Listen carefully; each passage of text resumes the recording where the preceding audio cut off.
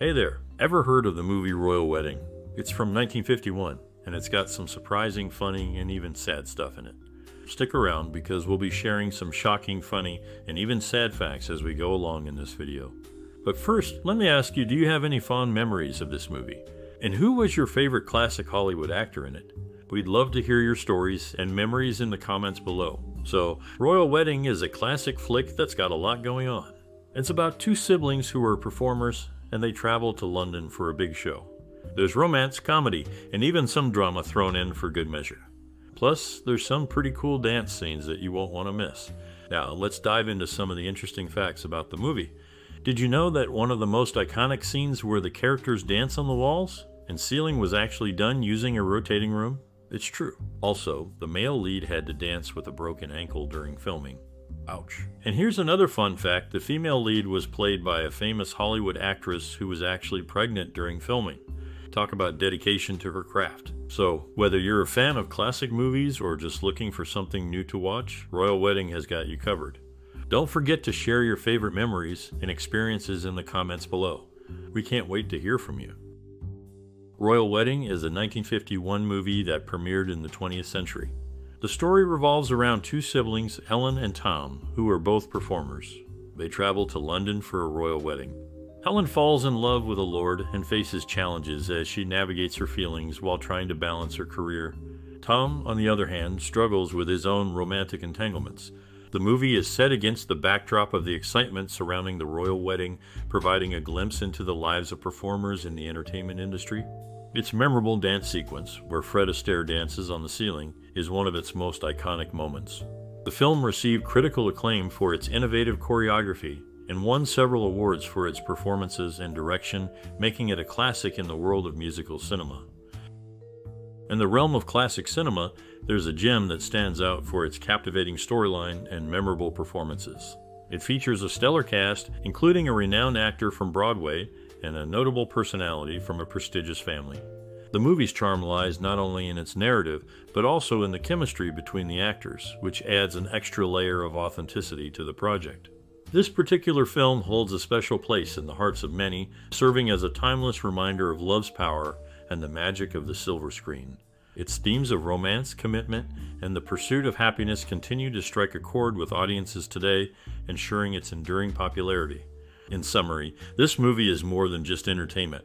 It's a testament to the enduring appeal of classic cinema and the universal themes it explores. Its captivating performances and heartfelt story make it a beloved classic for generations to come. Early in pre production, Vera Ellen was initially announced as the female lead. However, the role eventually went to Jane Powell.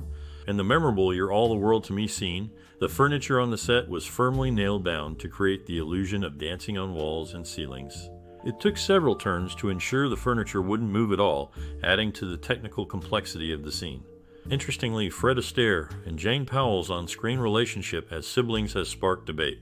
Many feel they should have portrayed a father daughter dynamic instead, despite the film giving no indication of this familial connection. These elements add depth to the dynamics within the storyline and characters, enhancing the overall viewing experience. In an interview, Fred Astaire talked about how much work went into getting even the smallest details right for the film. They tried out more than 30 hat racks before they finally made one that worked perfectly. It cost over 900. The movie shows the royal wedding of Princess Elizabeth and Prince Philip. Astaire and Keenan Wynn, who were both experienced actors, did a great job in the film. Their teamwork in Finian's Rainbow showed how talented they were. Everyone involved in making the movie paid close attention to every detail, making sure everything looked just right.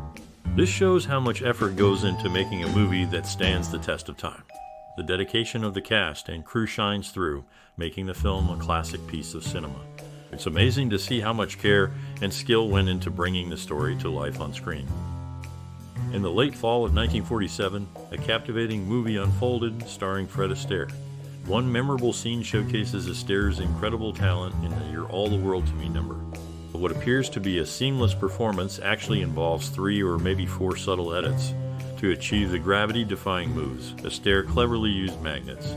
The director, Stanley Donen, spilled the secret that Astaire pulled at the picture when taking it off the dresser.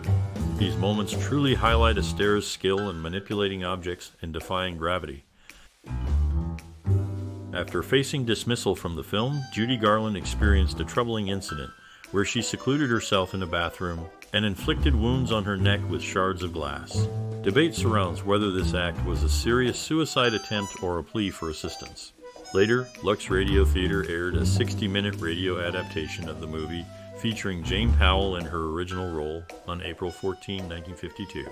Additionally, numerous children from Hollywood Professional School participated in the production, receiving education on set when not required for scenes. Keenan Wynn, despite disrupting their studies for fun, was adored by all the children.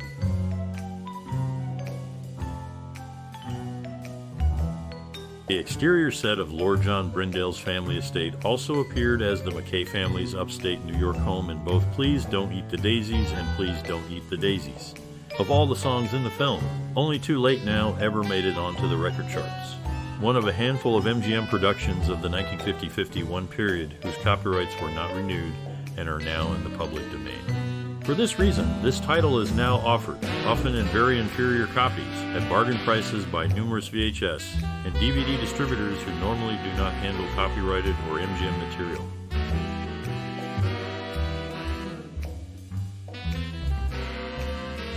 During the filming of Royal Wedding, a scene featuring a ship rocking during the song Open Your Eyes was inspired by Fred Astaire and Adele Astaire's voyage to London in 1923.